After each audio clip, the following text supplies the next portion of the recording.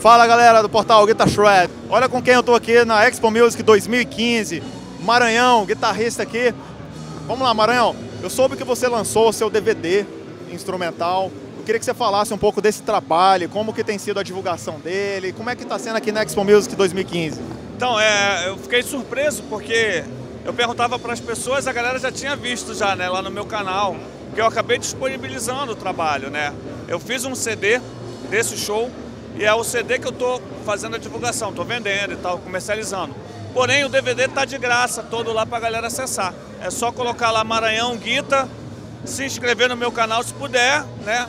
E se gostar, dá um joia lá e ajuda a divulgar o trabalho, que é um show de 14 músicas. E eu pretendo pegar, fazer uma turnê disso daí, se Deus quiser.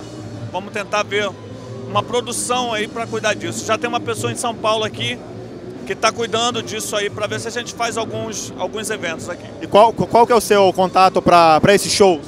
Então, pode mandar um e-mail para mim, né? É...